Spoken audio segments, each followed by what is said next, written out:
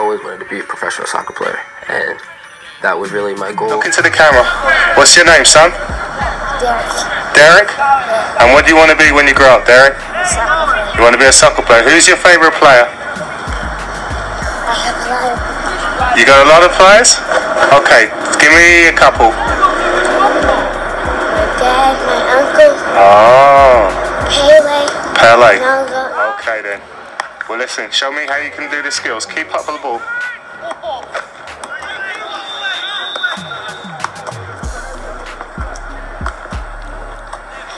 Hey, way to go, Derrick.